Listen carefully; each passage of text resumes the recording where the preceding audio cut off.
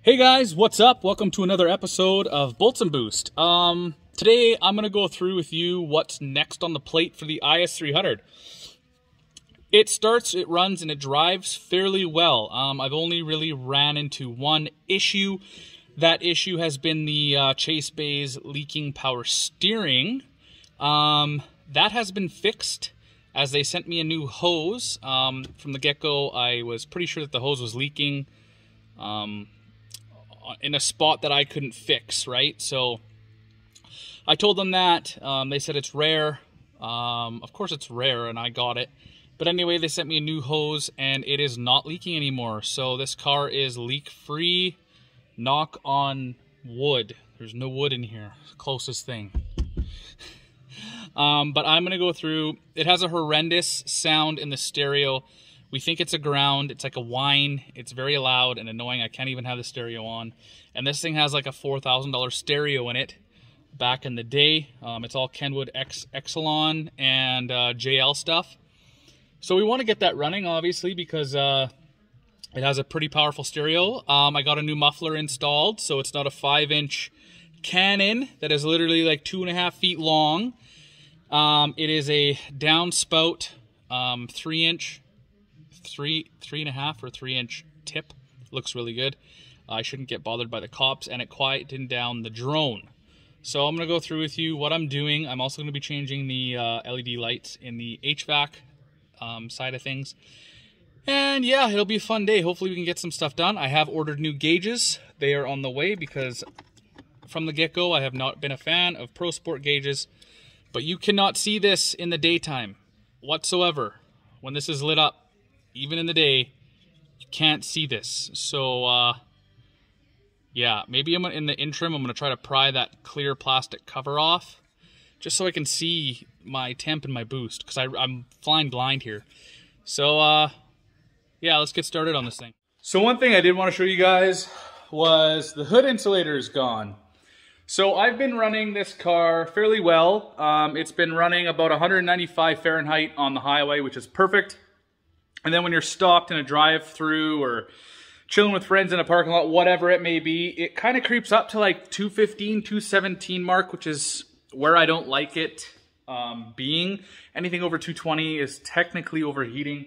Um, this thing hasn't reached there yet, and I don't want it to. So I took the hood insulator out online, excuse me, online on the IS forums. They say that people have dropped 30 degrees, I'm assuming Fahrenheit. So running right around that 195 mark um, at most times. So that's where I want to be. 195 on the highway, that just tells me my cooling system is working properly. Uh, the 215 while stationary, you know, hood insulator might be keeping hot air in. Um, my fans might not be as good as the OEM ones, which they're probably not. Um, they say that a stock 2J fan is the best fan, so I do have my my uh, small little SPAL fans in there, but um, they're I don't think they're pushing the same amount of air. Um, and also debris in the radiator. I blew out a bunch yesterday, but I didn't get all of it because I don't have the right tool. I actually do have the right tool, but it's leaking air, so uh, I'll have to figure out an alternative for that. But we're making progress, so that's what counts. I'm going to see if taking this hood insulator off does anything. Um, people say that it peels paint because of the heat. I have never experienced that, and I've done this many times. So I think people are just over being or being overcautious. Um, but either way, we'll see. It's not like this hood is mint by any stretch of the imagination, so I'm willing to take that risk. If it does start peeling paint, I will just cut it out and make a vent wherever it peels paint. Um, I am looking for a carbon fiber hood for this thing. So, with that, I am now able to see my gauge properly. So I took the scratched up lens off the thing and now we're going to be able to see it because this was just causing way too much uh, reflection in the daytime. And now that that is gone, I will be able to see both the Pro Sport gauges, even though I ordered brand new GlowShift gauges for this thing. Um, in the in the meantime, I'll be able to see my temperature and my boost. So let's move on to the stereo and the HVAC lights. All right, guys, so now that I'm into the dash here, um, I hate that they replaced the normal metal bracket with the plastic ones because the metal one would work just fine for all of this. But um,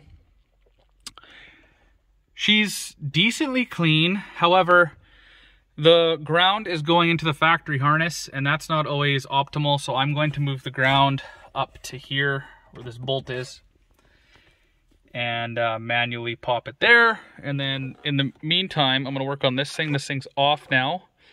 Uh, I gotta take those little screws out and then just replace the bulbs in there with the kit I got here. So I'm gonna go ahead and do that. It's always scary working with these boards because of, you know, anything can go wrong really. Here's all the lights here. Got one, two, three, four, five. And yeah, so that thing right there, you just gotta lift up on this clip here and then pull it out. And then when you put it back in, just close the clip. So I'm gonna go grab a flathead screwdriver and replace all these lights. It looks like there's one up here as well. So yeah, flathead screwdriver and uh, put it in there and spin it out. All right, so all the white ones have been replaced. All four. They did send me an extra one of those. Uh, this one was for the keyring, but it, if you recall another video, I used my own. And those are all the factory ones I'll be keeping for obvious reasons. And now I'm gonna gently put the ribbon back in there, snap this down, and then screw it all together. And I'll show you that as well. All right, so there's the ribbon all in place and the clip clipped in. It kind of slides, focus, slides into that little slot and then it's locked. And you just pull it out and lift it up to, to uh, get the ribbon out of there. So I'm gonna screw these two panels back together. All right, found success in some areas and none in the other. The other would be the, you can hear that screeching sound I have a really good ground off the stereo and it's still making that sound. So it's, I believe, coming from the grounds in the amp. Um, but I finished the LEDs in the HVAC. It looks really good. However, I do recommend plugging it in before you put everything back together because I had to take this out three times and uh, switch around the bulbs because they must be polarized. Polarized. Um, so I just had to switch them around and now everything's working as it should. So uh, just a reminder to check before you put everything back together. Well, besides that annoying screeching through my speakers, it was a successful day.